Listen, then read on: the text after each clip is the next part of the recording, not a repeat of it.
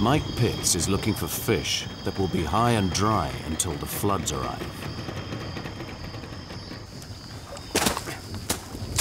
This jungle has been above water for three months. Mike's team is joined by a local scientist who's recently discovered unique fish on the forest floor. Right, this looks uh, potentially brilliant. Any fish here were trapped in pools by the retreating river and must endure months in stagnant water before the flood returns. Maybe. I think we must. Some so small they can only be found with a fine mesh net.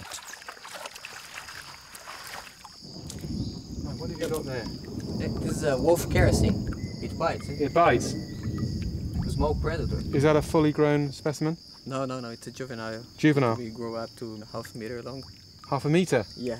and it bites Painfully. painfully. Okay, I think I'm going to release that. There we go. Put him back in. But weather permitting, they hope to find an even more remarkable fish. Okay, let's get him.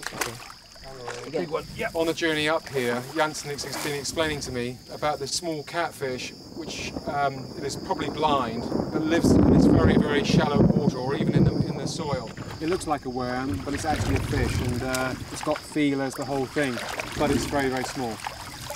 Big one. Yep. Oh, what's this here? No, nothing. Oh no. Yes, that's a fish. Look at that.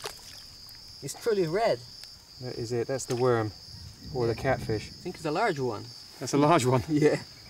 If I'd found that by myself, Jansen, I would have said that was a worm. Yeah. There's no way I would have said that was a catfish. This fish has no name, No name, no name. It's a new species. a new species, Undescribed one. undescribed. And I've got it in my hand. The whole of its body can absorb oxygen from the air. A miniature catfish that can live on land.